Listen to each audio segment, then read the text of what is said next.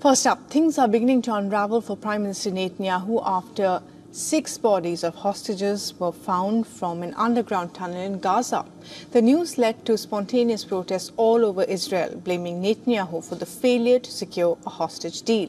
While Netanyahu has now vowed action, protesters and family members are now demanding an immediate hostage and ceasefire deal. This, as Hamas says, three of the six hostages whose bodies were recovered were on a hostage release list. Almog, we love you and you'll always stay in our hearts.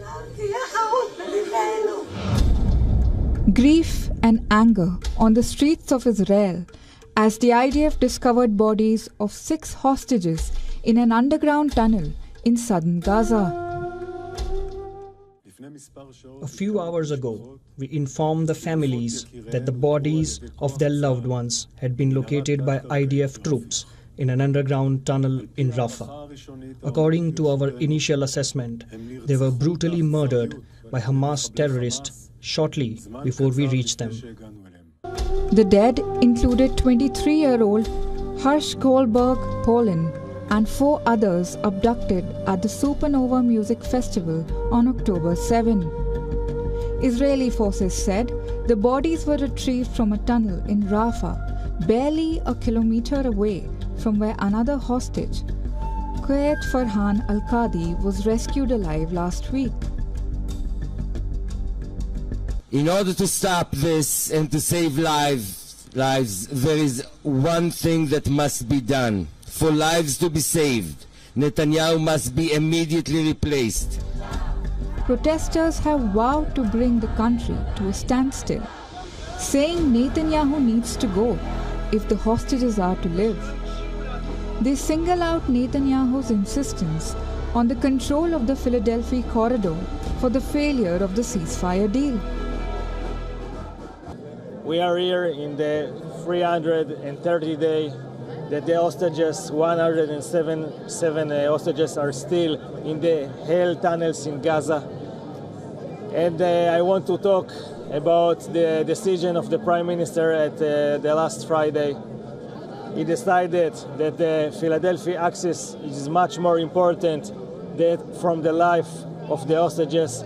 And I want to tell him that he's making a war crime. He's a war criminal. He's a mass murder by his decision. While Israeli ministers reportedly backed Netanyahu's demand for the control of the crossing at Thursday's cabinet meeting, Israel's 12 channel says Minister Yoav Gallant and security chiefs repeatedly urged him to compromise.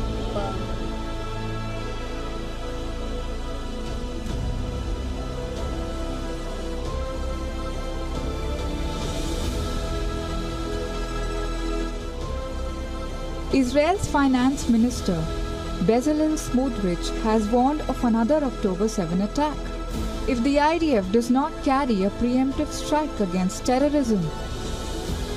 Opposition leader Yair Lapid and the mayor of Tel Aviv have called for a nationwide strike for the release of hostages, even as the Israeli prime minister vowed revenge. In recent days, as Israel has been holding intensive negotiations with the mediator in a supreme effort to reach a deal, Hamas is continuing to steadfastly refuse all proposals.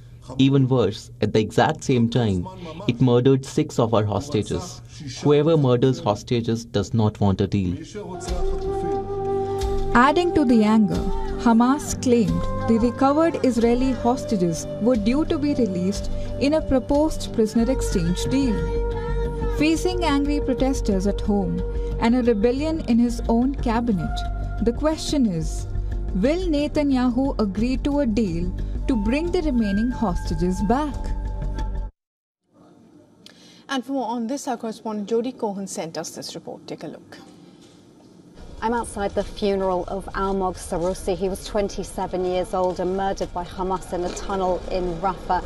He was one of the six hostages found earlier and announced, uh, his death was announced earlier on Sunday. Now there are many people who've come here to express their condolences. Even strangers have come to pay their last respects to the family. Meanwhile, the Forum for the Hostages Families is calling for a general strike tomorrow and for protests across the country, calling for a deal to release the remaining hostages.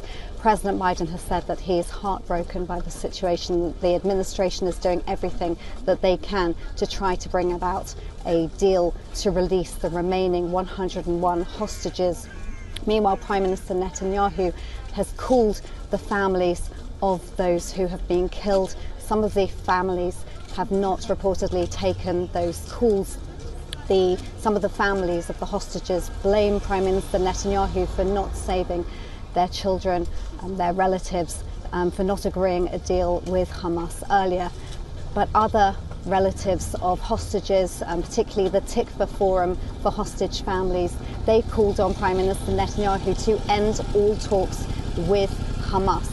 Now, Netanyahu has said that the talks will continue, but that he believes that those who kill hostages are not really interested in a deal.